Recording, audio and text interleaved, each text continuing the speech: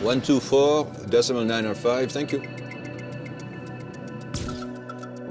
Captain Christian Hecquet and First Officer Joel Cherubin are experienced pilots with over 12,000 hours of flying time between them. The flight is a short hop between Lyon in central France and the city of Strasbourg in the mountainous Alsace region.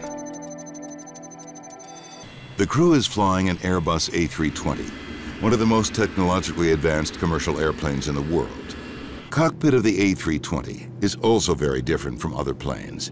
Instead of analog gauges, the pilots look mostly at digital displays.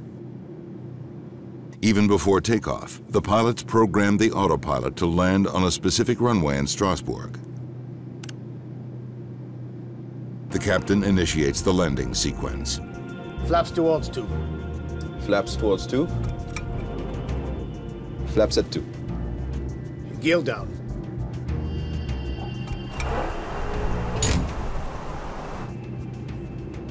Ladies and gentlemen, we are going to land in a few minutes. Hecquet notices that the plane is traveling too fast, so he extends the speed brakes. They disrupt airflow over the wing, which helps create more drag to slow the plane. We have to watch our descent.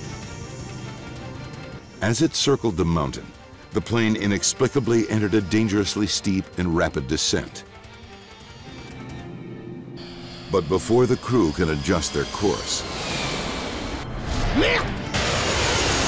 the A320 has flown into the side of a mountain. The crash is catastrophic.